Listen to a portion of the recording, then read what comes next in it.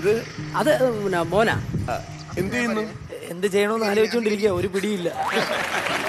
പണിയൊന്നും ആയില്ലേ? കുറച്ചു മുമ്പ് ഒരു എട്ടിന്റെ പണി കിട്ടിയായിരുന്നു ഇനി എന്ത് കിട്ടുമെന്ന്.